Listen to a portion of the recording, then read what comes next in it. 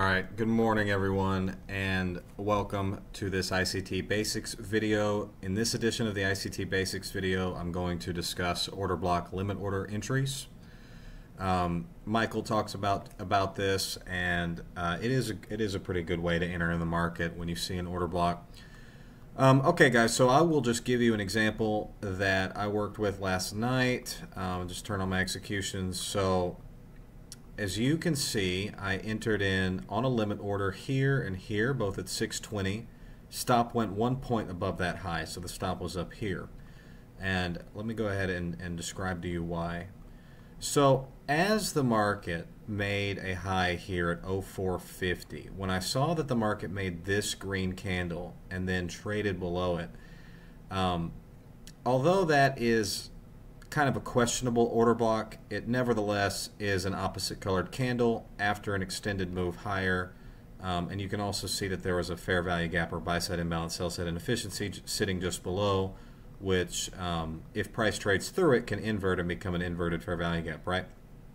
So, and, and uh, Entering in on an order block stop looks like this. When you see that the market trades below that first green candle, what you want to do is you can look at two different price points to place a limit sell order quickly in the market.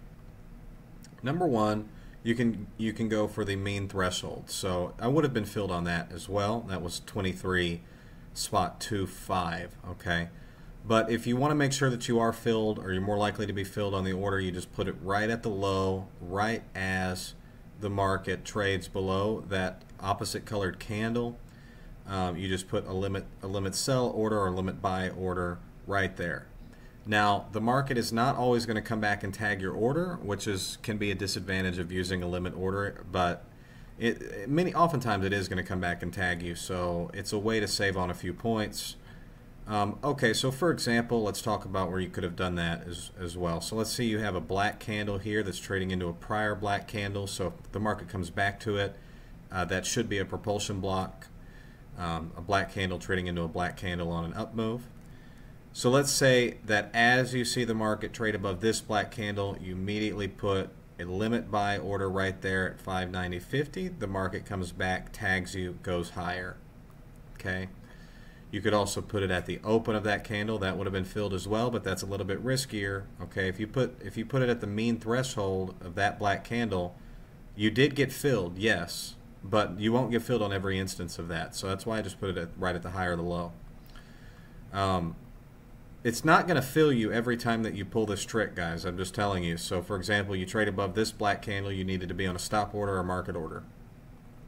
But oftentimes it is going to fill you. Um, this order block right here, you did not get filled. The market just went straight down. Uh, if you were quick with this green candle, you got filled on a limit order uh, on a sell. Didn't get filled on that one. So another one, guys. Oftentimes, how I like to use these is right. Uh, if you see that the market is kind of being in a high resistance mode, it's it's uh, doing a lot of these stop hunts. It's it's not moving cleanly. Then you're more likely to be filled on these. So the market trades below that green candle there. As it trades below, limit order goes in the market at the low of that candle. That came in at 80.25. You take some drawdown, but the market ends up going lower. So these are order block limit order entries. They're oftentimes going to be right. Um, these market structure shift order blocks are the ones right at the top or bottom of a swing. But again, guys, if the market is moving fluidly, if it's moving with a purpose in a low resistance mode, you're just you're not even gonna it's not gonna come back and tag you at all. So I'll, I'll make a separate video on entering in on a stop order. So as opposed to entering in on a limit order, you can also enter in on a stop order. Um, all right, so another example here. Uh, the market trades below this five-minute candle, green candle. Order goes at a sell order comes in at the low. You get filled. It goes lower. Um, again, sometimes like here, just goes straight down. Not going to fill you at all. Didn't fill you there on this on this instance. Um, it did, however, fill you. Well, yeah. So Market trades above here, order goes there. As you see the market trading back down, you get filled, it goes back up.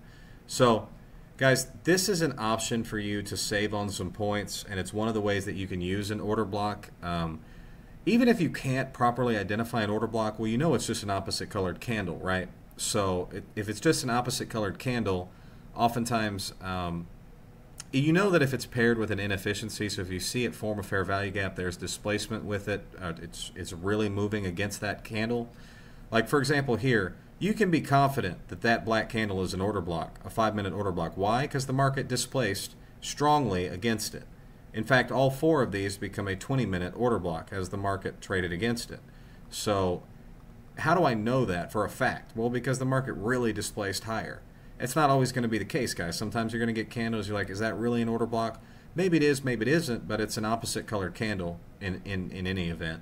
So just at a minimum, just call it an opposite colored candle. You do want to see displacement though, right? You don't want to just see barcoding. If you see just barcoding, it's probably not an order block. Um, but anyways, guys, I like to, to use these uh, uh, limit order entries. Again, I will show you an example. Okay, so that green candle right there, I got filled right there, and then I ended up covering down here at 601 spot 5 for a 19 and a half point trade, so right there. Okay, and then I left one on to see if it wanted to run lower. It did not. So, anyways, guys, are you going to be tagged every time that the market fills an order block? If you if you put in a limit order like this, are you going to be tagged every time? No. Sometimes the market's just going to move cleanly against you uh, or in the direction that you, you're intending and you'll just have to hit it, hit it at the market, frankly. Um, but that's something that you'll have to be watching in live price action. If the market does not seem to you like it's it's going to want to come back and tag you, you're just going to have to enter in at the market or on a stop order. But if the market is a, in a, is in a high resistance mode, it's chopping, um, it's in time distortion basically, where it's it's not the right time for it to make the move. You probably are going to be tagged in on a limit order for an order block. Okay guys, uh, in this video I covered limit order entries on order blocks. Oftentimes these are going to be your market structure shift order blocks or the ones that are at the top or bottom of a swing. Um, and so you can enter in on a limit order at the low or the mean threshold of that order block. Although be careful with the mean threshold because again, you might not be tagged in. Uh, the market will not always come back and tag your limit order.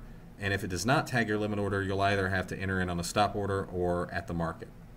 Okay guys, in this video we covered order block limit order entries.